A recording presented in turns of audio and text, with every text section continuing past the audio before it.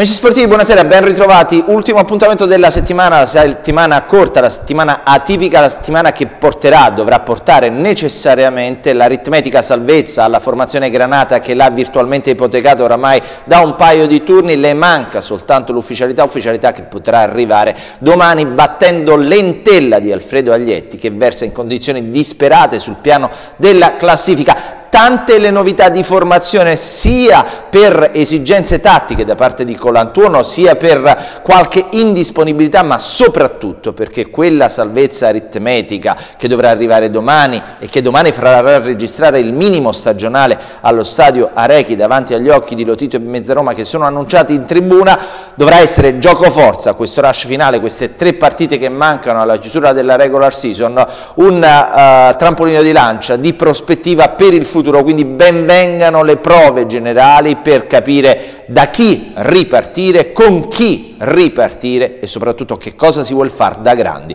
cosa si vuole fare l'anno prossimo, che l'anno un anno particolare, un anno speciale, che è l'anno del centenario. Avremo modo e tempo per naturalmente affrontare l'argomento futuro, cominciamo a farlo già da oggi, però è impellente il match di domani pomeriggio alla Rechi, ore 15, davanti a poco più di 5.000 spettatori, almeno questo è il dato eh, approssimativo che si prospetta domani nel Principe degli Stati contro Lentella per l'aritmetica salvezza, tante le novità di formazione, partendo dallo spartito tattico, ma non vogliamo anticipare i temi anche perché da eh, imperfetto cavaliere vado a presentare Francesca De Santis, direttore sportivo della Salernitana Femminile Calcio a 5, eh, soprattutto insomma amante di calcio, giocato e parlato perché insomma anche voce e volto noto oramai da anni nei commenti e nella passione granata che eh, ti, ha, ti, ha, portato praticamente eh, da una vita sui campi di calcio e sulle tribune. Buonasera. Sì, buonasera a tutti. Uh, in primis ti dico che domani sarò tra quei 5.000 naturalmente a tifare la Salernitana. Ma tu sei abbonata o sei occasionale?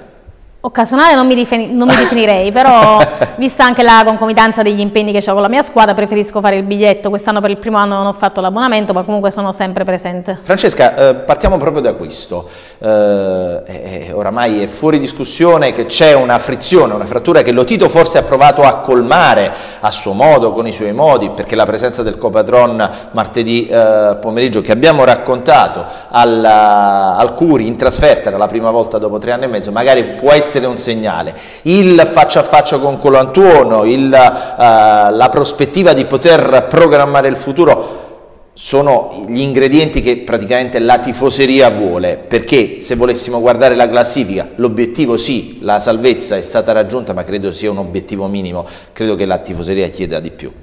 Sicuramente Salerno è una piazza importante, questo ce lo diciamo da tempo, è una piazza che per numeri e per, per storia eh, sicuramente deve aspirare a di più. Eh, lo Tito è, lo conosciamo, è, è sicuramente attaccato alla città, coglie con soddisfazione anche quelle che sono le provocazioni, l'ho visto in un siparietto mentre portava il ritmo a, ai, agli inni, diciamo, agli sfottò dei, dei, tifosi di Granata, però il fatto sicuramente che sia stato presente a Perugia dimostra l'attaccamento che ha comunque per, per questa città. Uh, noi però uh, come, come, tifosi uh, meritiamo di più, meritiamo di meglio, meritiamo di conoscere un programma che sia degno del, della nostra storia. A proposito di questo, per chi non conoscesse Francesca De Santis o forse la conosce soprattutto come giocatrice di calcio che oramai hai quasi, non definitivamente, appeso le scappette a chiodo, oltre che tifosissima della Salernitana, Francesca De Santis è direttore sportivo della eh, società che rappresenta di calcio a 5, però era impredicato e aveva superato eh, il, la prima fase per essere proprio direttore sportivo del calcio maschile, cosa sì. che non è escluso che tu farai l'anno prossimo. Quindi insomma sei anche competente in materia. A proposito di questo, questo breve preambolo, non solo perché mi dovrai pagare la cena dopo, ma soprattutto per chiederti da chi ripartire, cosa salvi e che voto dai dovessi fare una pagella al campionato della Salernitana. Allora, io sicuramente non, non, sono nelle condizioni di poter uh, surrogarmi a quello che è il ruolo del direttore sportivo della Salernitana, però cerco un attimo di uh, calarmi nel, nei suoi panni e mi rendo conto che ci sono dei punti secondo, secondo, me che sono sicuramente imprescindibili, ci sono giocatori che comunque quest'anno hanno, hanno, dato l'anima e da cui, da cui sicuramente eh, Fabiani ripartirà, uh, però c'è necessità di uh, andare a integrare uh, con degli, degli, acquisti mirati perché comunque non abbiamo avuto un vero e proprio attaccante di peso, le assenze, comunque le cessioni di, uh, di code di Donnarumma si sono sentite e il peso offensivo è stato, è stato veramente delle volte vano, sterile. Infatti, molto sterile. Infatti se noi andiamo a fare una piccola statistica, nei, negli ultimi sei incontri su 4-1-1 eh, comunque denotano una difficoltà nel, nel, nel, fare gol e quindi bisogna secondo me andare soprattutto a rinforzare eh, il reparto offensivo. Soltanto in attacco bisognerà... No, vabbè, sicuramente eh, Rosina ha fatto un campionato a centrocampo che... Um, è stato soddisfacente nelle ultime partite veramente eh, soprattutto alla fine perché soprattutto alla fine ha sì ha giocato poco e domani il caso vorrà che poi eh, si, si, la sanitaria si ritroverà Lentella che poi alla fine è stata eh, la, la prima partita di Colantuono Colantuono ad Entella eh, con, con, la Virtus Entella a Chiavari eh, il primo successo anche per 2-0 ha esordito tra l'altro proprio sulla panchina della Salernitana sì, a Chiavari a Chiavari quindi ha esordito e quindi ci, eh, adesso gli, si prospetta la possibilità di poter chiudere il campionato con una salvezza che potrebbe arrivare anche con un pareggio poi. Sì, eh, se arrivasse il pareggio bisognerebbe guardare gli altri risultati, soprattutto eh, l'Ascoli, Ascoli Avellino e la, la, partita del Novara. Se vinci sei aritmeticamente. Sicuramente non possiamo fossilizzarci sulla storica rivalità che c'è con l'Avellino perché dobbiamo pensare a noi anche perché insomma, a parti invertite l'Avellino leggo, sento insomma, che invece temono che la Salernitana insomma, potesse non eh, impegnarsi più di tanto, però insomma, sento il dovere di scongiurare queste, eh, queste chiacchiere da far web, mi verrebbe da dire, sì, soprattutto in virtù di un fatto, cioè la Salernitana martedì a Perugia, insomma, anche se avesse perso oggi era a 47, il discorso a salvezza è praticamente quasi archiviato, le manca solo l'ufficialità, eppure ha dato l'anima. Eh Io certo, credo che come giusto giusto che sia nello Perugia sport, è una eh. delle squadre sicuramente più in forma del campionato Vero. e comunque andare a fare un punto lì per uno spogliatoio dà morale e fiducia nei propri mezzi, quindi uh, l'Entella lotterà sicuramente perché uh, per l'Entella è l'ultima spiaggia, quindi per evitare i play-out, però uh, noi dobbiamo pensare ai tre punti e a festeggiare la salvezza aritmetica. Ecco, a proposito di questo, si festeggia una, sal una salvezza del genere per una sal salernitana, per una piazza come Salerno, è una, è una, festa salvarsi? Sicuramente non vedremo i classici caroselli o strombazzamenti di clacson, però eh, sicuramente possiamo, ci è stato un periodo del campionato in cui eravamo così vicini ai playoff e ci siamo illusi, poi sono abbiamo una serie di eh, sconfitte che ci hanno diciamo, fatto perdere la speranza prima del tempo così come c'è stato un periodo del campionato in cui i play-out sono stati maledettamente vicini, il minimo storico che proveremo sperando di non battere questo brutto record domani con il Parma, il minimo storico stagionale, è arrivata una sconfitta che eh, se non fosse stato poi per l'espoa di Ascoli veramente avrebbe messo in malo modo la posizione in classifica sì. anche psicologica della Salernitana. Sì, anche Diamo... se consideri che Uh, al girone di andata, comunque il, il, girone di andata abbiamo concluso con 21 punti, adesso già ne abbiamo fatti di più sì. e quindi potremo, sicuramente c'è stata un'inversione di rotta. Ma come sempre però, insomma, il campionato di B eh, e il girone di ritorno, sì. se vedi il grosso delle squadre, anche e soprattutto quelle che si devono salvare, hanno sempre qualcosa in più rispetto Beh, alla... questo può, spesso va anche, il motivo di ciò va, va ricercato soprattutto anche nel, nel, nel, mercato di gennaio, ma anche nel, uh, nell'arrivare a una condizione fisica che sia quindi la preparazione fisica è fondamentale, quindi spesso alcune squadre carburano un po' dopo.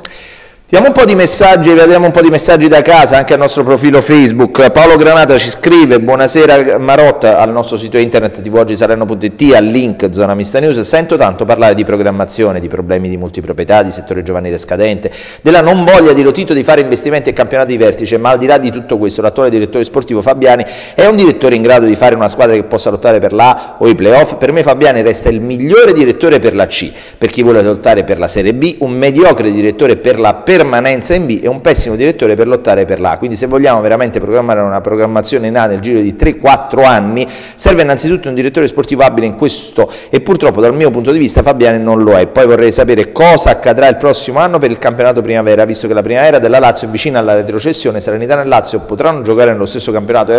Eh, quest'ultima tua osservazione era una cosa che avevo avanzato già da qualche settimana, che la, la Lazio primavera è destinata a retrocedere nel campionato B primavera per fortuna, fra virgolette, rispetto al campionato nazionale primavera ci sono due gironi dei campionati B primavera, quindi io immagino che al di là di quello che è un regolamento che onestamente non conosco, ma per una questione proprio di eh, praticità e di, eh, di, di, di, tatto, di sensibilità, si metteranno Lazio in un o girone. si troverà un escamotage per... No, non parlare di escamotage perché sennò facciamo una trasmissione che dura un'ora sugli escamotage, lasciamo stare. Invece su Fabiani vorrei che rispondesse Francesca De Santis. Io ho una, una mia idea, poi c'è la capacità di un direttore che è più bravo ad avvalersi degli esperti rispetto ad un altro che è più bravo a puntare sui giovani e andarli a scovare, però io parto sempre dal presupposto che laddove c'è una proprietà e soprattutto questa proprietà, Lotito e Mezzerom, che se hanno intenzione di vincere lo hanno dimostrato. Hai voglia poi a fare le chiacchiere, i fatti, i fattori imponderabili. Questo è stato quando sono stati questi tre anni di, di B.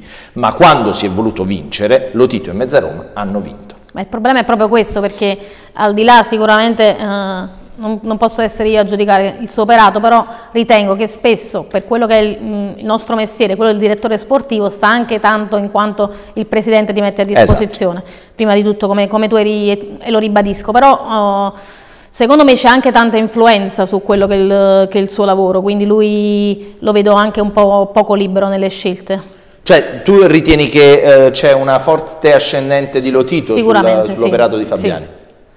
Penso questo. Allora, eh, concentriamoci per il momento su Salernitana Entella, vediamo il servizio che ha preparato Nicola Roberto sulle probabili eh, scelte di Colantuono, la Salernitana si è allenata questa mattina, eh, la seduta di finitura come sempre, ma questa non è una novità, hai voglia dire, di riavvicinarsi, magari non nella seduta di rifinitura, ma lo stiamo dicendo da quando avevo i capelli, quindi figuriamoci che sarebbe opportuno aprire le porte e avvicinarsi alla gente per un fattore di identità. Evidentemente si è sordi a questo punto di vista e anche da altri. Andiamo avanti, i numeri domani diranno che l'Arechi sarà praticamente vuoto. Dopo la seduta di rifinitura, Nicola Roberto aveva preparato il servizio, le ultimissime proprio di formazione. Restate con noi.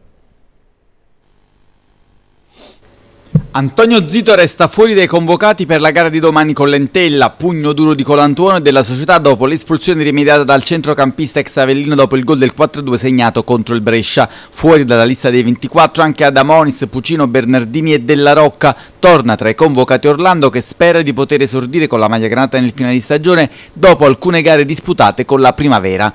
Per la gara di domani contro una Virtus Entella, la disperata ricerca di punti salvezza, Colantuono dar seguito a quanto visto al Curi confermando la la difesa a 3 con Mantovani, Tuia e Monaco che saranno supportati sulle fasce da Casasola e Vitale. In mediana si cambierà sia nell'assetto sia negli uomini dal momento che il modulo di partenza sarà il 3-4-3. Rispetto alla gara di Perugia ci sarà spazio per un centrocampista in meno dal momento che in attacco si tornerà al tridente. In cabina di regia ci sarà spazio per due interni. Colantuono sceglierà tra Ricci, Minala, OGR e Akpa Pro la coppia titolare. Ricci e Minala hanno più volte giocato in tandem in questa stagione ma nessuno dei due sembra attraversare il momento migliore dal punto di vista fisico. Possibile che Colantuono scelga solo uno dei due, magari Ricci, che potrebbe essere affiancato da Akpa che in questo scorcio di campionato dovrà essere valutato anche in funzione di una possibile conferma. L'ex Tolosa ha il contratto in scadenza ma una opzione di rinnovo triennale. In avanti Rosine sprocate agiranno i lati di Bocalon contro l'Entella. La Santana sa che anche un pareggio potrebbe bastare per la certezza aritmetica della salvezza, ma la squadra granata vorrà cercare i tre punti per superare superare quota 50 in classifica e confermare il suo buono stato di forma.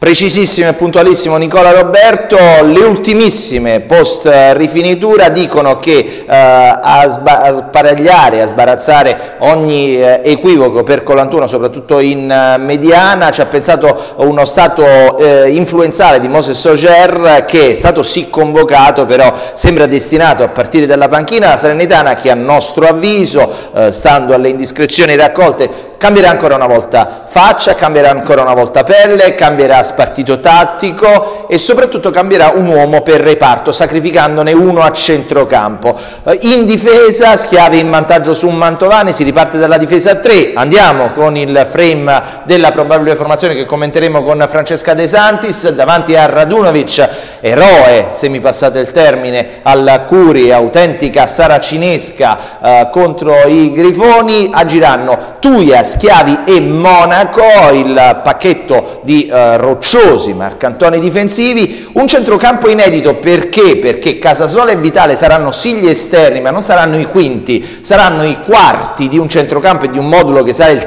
3-4-3 atipico con Minare e Akpak Pro confermati ma da centromediani metodisti. Come diceva Nicola Roberto, tridente offensivo, anche in questo caso tridente sporco perché sarà composto da Rosina, Bocalonna e il ritorno di Sprocati che ha smaltito eh, le noie muscolari che lo hanno costretto in panchina così come schiavi a Perugia e partirà dal primo minuto. Perché tridente sporco? Perché con ogni probabilità questo spartito tattico potrà cambiare pelle a partita in corso, se non addirittura dall'inizio, giocando con il 3-4-1-2, cioè con Rosina libero di arretrare, accentrarsi e poter innescare il tandem offensivo, così come ha fatto lo stesso ehm, Colantuono Francesca con il Brescia dopo poco per provare e ha fatto sì. bene a scardinare la difesa delle rondinelle. Che però in fase difensiva naturalmente si trasforma in, in 3-5-2 perché c'è anche eh, Casasola e Vitale uh, fungono poi alla fine da terzini, quindi non un 5-3-2-1, sì. 5-3-1-2. Uh,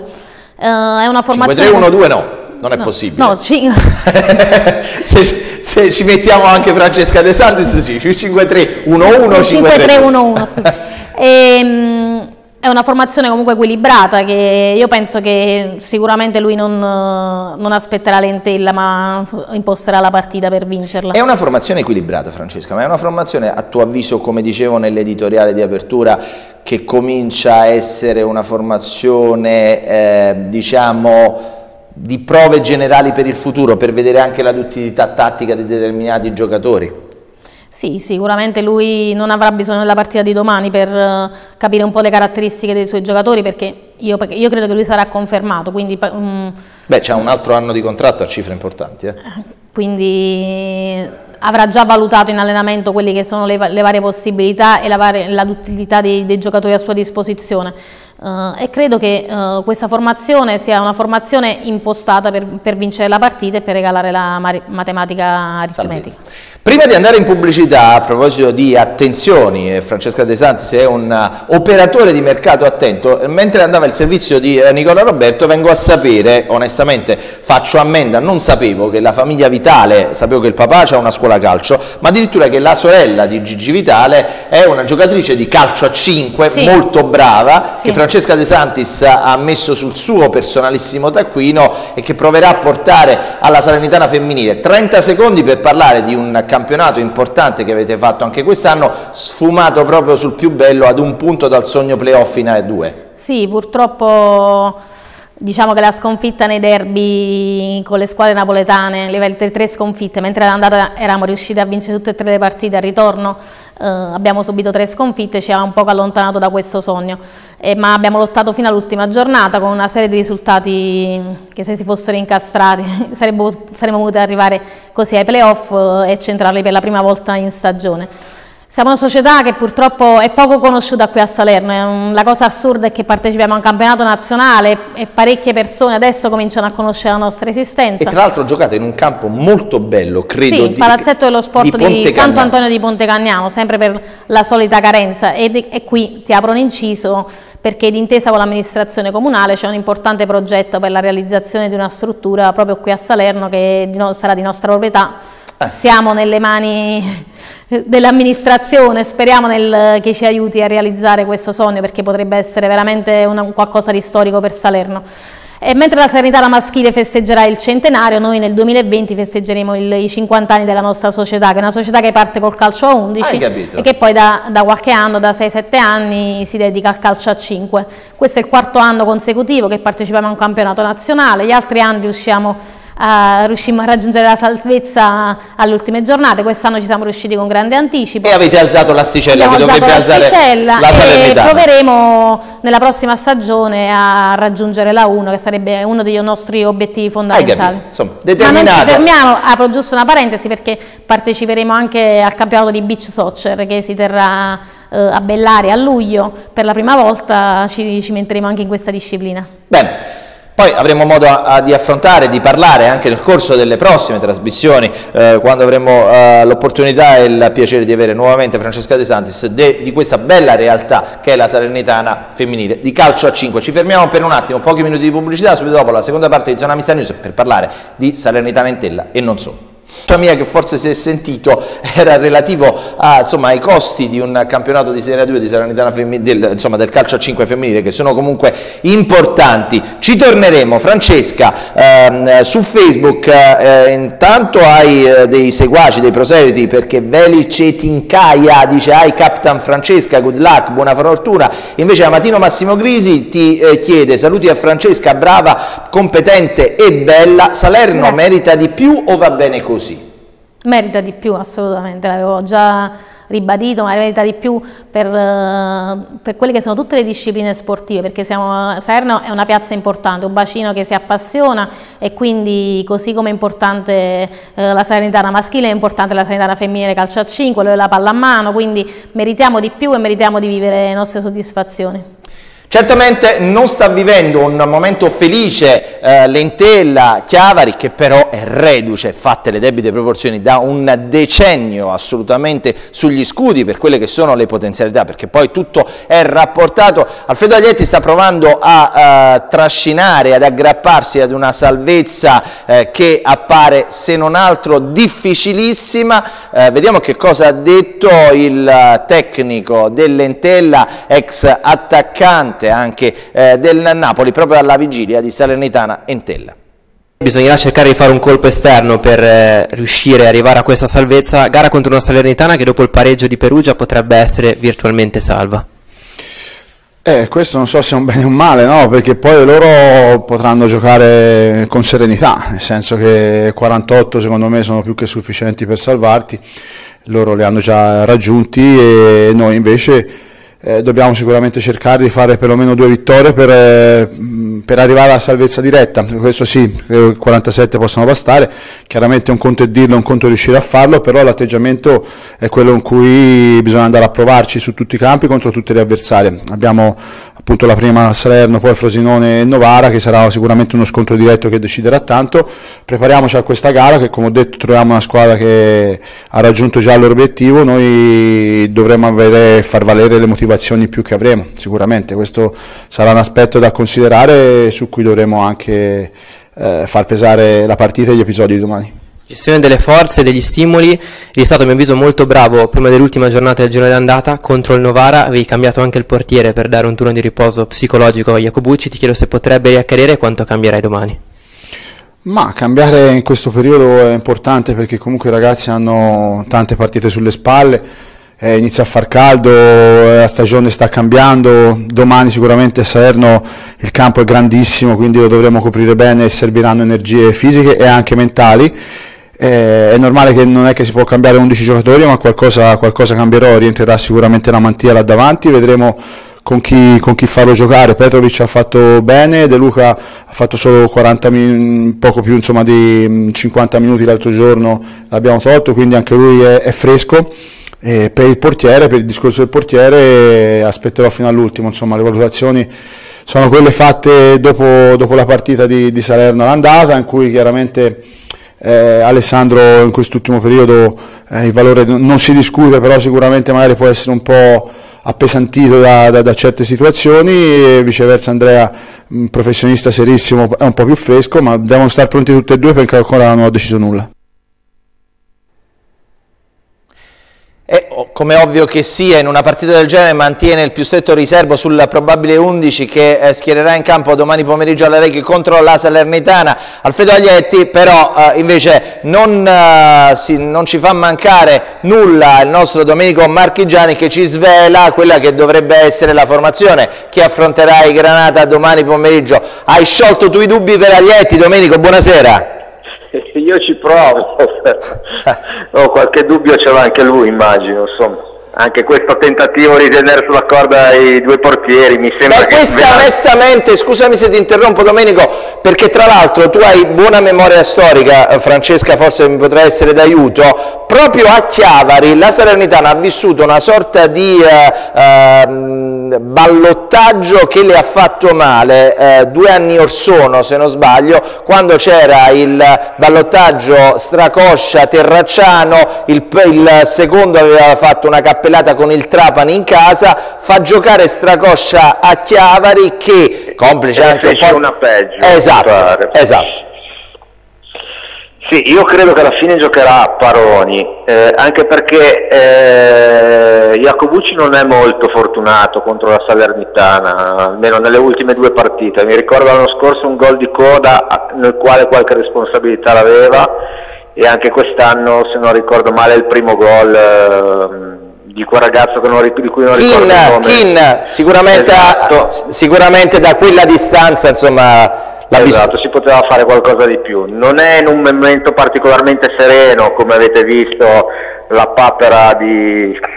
incredibile di, di, di, di, di Collascoli, insomma, credo che Aieti lo tirerà fuori, giocherà Paroni allora vai con la formazione Domenico. Quindi Paroni tra i pali secondo me è una difesa a 3, in difesa non ci sono molti dubbi perché Cremonesi non è stato nemmeno convocato, quindi si va verso la conferma del trio composto da Benedetti che giocherà sul centro-destra, Ceccarelli centrale e Pellizzell sul centro-sinistra.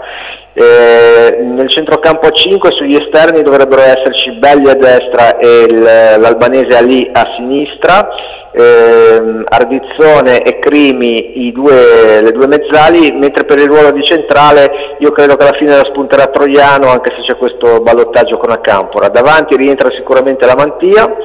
Eh, ecco qui insomma c'è questa, sono spalla a spalla De Luca e Aramu, mi pare che di aver capito um, che De Luca ha qualche possibilità in più rispetto ad Aramu, però insomma siamo sul 55-45. Sì, anche perché a giudicare dalle dichiarazioni di Aglietti ha parlato proprio, insomma ha detto De Luca ha fatto una quarantina, cinquantina di minuti, l'ho visto fresco, però insomma mi pare che proprio questo forse è il dubbio eh, che maggiormente attanaglia la mente di Aglietti forse. Sì, Eugenio, credo che i, dubbi, i due veri dubbi siano Troiano a Campora in mezzo al campo e De Luca Ramo davanti. Domenico, eh, io eh, intanto ringraziandoti per la tua uh, cortesia, disponibilità e professionalità che ci hai regalato in questi tre giorni di flash da Chiavari, sono curioso di una cosa, domani insomma, la Rechi farà uh, vedere troppi spalti vuoti, uh, non mi aspettavo certamente il pienone e neppure insomma, una, un esodo da Chiavari a Salerno, ma solo tre tifosi dell'Entella, vorrei sapere i nomi a questo punto, Domenico. Eh, io, io, non lo so, ma sono meravigliosi, sono meravigliosi. Sono, no, sono, è incommiabile, eh, per carità. Esatto, sono meravigliosi, solo, solo per loro credo che l'Intella meriterebbe di rimanere dov'è perché è un atto d'amore veramente incredibile, perché sono, sono, sono, tanti, tantissimi chilometri e in una situazione del genere certo. poi insomma credo che sia eh, sono quelle belle storie secondo me che ci regala, ci regala il calcio spesso belle storie che Domenico Marchigiani a questo punto dovrai fare un appendice al tuo bel libro eh, che ha raccontato i dieci anni questi dieci anni di bellissima storia eh, dell'Entella dovrai fare un appendice per questi tre eh, insomma aficionados eh, beh, credo che siano gli stessi tre che forse andarono a Foggia all'inizio dell'anno, ah, ecco, ma okay. ancora, ancora più lontano. ok. Grazie a Domenico Marchigiani del secolo XIX, grazie Domenico, ci sentiamo domani. Grazie Eugenio, grazie, buona serata, A domani. buon lavoro, ciao ciao ciao. Siamo in conclusione, Francesca, eh, chi ha più da perdere? È una domanda veramente dalle 100 pistole, cioè, o meglio, chi rischia di più? Lentella che ha tutto da perdere, quindi giocherà a gioco forza, scusa il gioco di parole, per provare a strappare punti alla Rechi, o la Salernitana tranquilla per cui il pallone non scotta e magari si può permettere anche una giocata in più? Beh, in questa partita qua spesso la differenza le fanno Le le motivazioni. motivazioni e lo, lo sappiamo bene. Però mh, adesso mi stavo un attimo soffermando su questi tre poverini e pensavo che comunque è bello eh, fare un viaggio, fare tanti chilometri e credere in qualcosa, ma mi dispiace per loro, però i punti servono a noi. E ragionavo anche sul fatto che il dato della, della prevendita nostra è veramente deludente, la cosa più brutta è vedere le persone che hanno perso l'entusiasmo, la passione, perché basta poco, bastano dei risultati per poter coinvolgere eh, i tifosi salernitani, perché sono, sono dei tifosi passionali e che comunque hanno sempre e comunque seguito la squadra in trasferta eh, a prescindere dalla classifica e quindi E dalla spero categoria. e della categoria, Eh, quindi spero che ritorni eh, l'entusiasmo di una volta.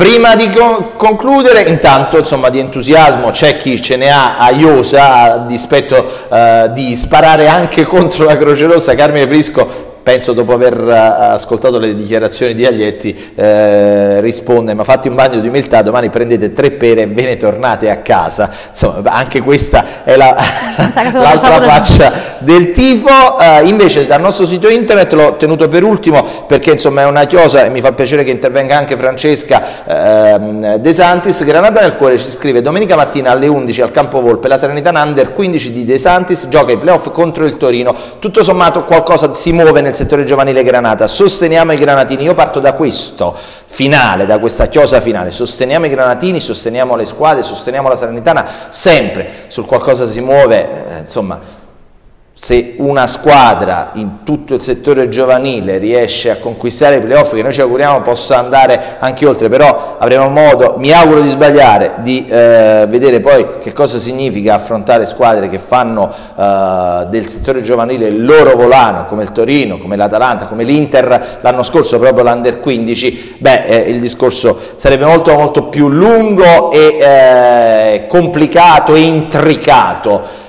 Resta un fatto che la Salernitana in questi sei anni di gestione Lotito e Mezza Roma avrebbe dovuto, potuto fare molto di più per il settore giovanile, che è il volano e che permette di fare plusvalenze e tante, e quindi anche un discorso economico e credo che da questo punto di vista anche e soprattutto in ottica futura bisognerà ragionare, bisognerà fare dei programmi, dei progetti seri. Partivo da questo per chiedere a Francesca eh, il discorso, Il discorso sul del settore giovanile, noi ci se anche tantissimo. voi fate settore Il giovanile. settore giovanile è fondamentale perché due sono le condizioni per poter programmare il futuro, avere una propria casa e quindi ci- questo ci stiamo lavorando per avere una struttura E lo hai eh, detto. e non essere costretti ad emigrare in provincia eh, perché qui a Salerno si sa, è ormai noto il problema della carenza degli impianti sportivi, ma il settore giovanile è un altro, eh, uno dei tasselli fondamentali a cui il, mm, tiene il nostro presidente Domenico Pizzicara. E quest'anno per la prima volta abbiamo creato un- il settore giovanile che ha partecipato al campionato juniores regionale mm, e quindi è stato già un primo passo importante eh, per la costruzione perché purtroppo se non si eh, coltivano in casa i talenti società- le società sono costrette poi, soprattutto nel femminile, a, Ad andare a spendere Sai quante, tanti quante soldi. squadre ci sono che durano un anno, che spendono tanti soldi, comprano le migliori giocatrici e poi l'anno dopo non esistono più. Invece il nostro scopo e la nostra impronta è quella di cercare di dare continuità al nostro progetto. Ma tu ancora indossi gli scarpini? Io mi alleno con la squadra perché penso che riesco a svolgere meglio il mio ruolo stando a contatto con le ragazze e cercare di capire tutte le loro esigenze, però eh, ho fatto qualche minuto quest'anno, ma ormai diciamo sono fuori dal... Sei dietro la scrivania. Sì, Grazie. sulla tribuna. grazie a Francesca De Santis, in bocca al lupo per il... Crepi, grazie a voi per, l'invito. Grazie, ci vedremo presto sicuramente. Grazie agli amici eh, che ci hanno seguito sui nostri profili social, sul web, al nostro sito internet. L'appuntamento con Zona Mista News ritorna martedì prossimo, eh, puntuali sempre, come sempre alle 20.30 su TV Oggi Salerno, solito, classico, tradizionale, standard. Ciao.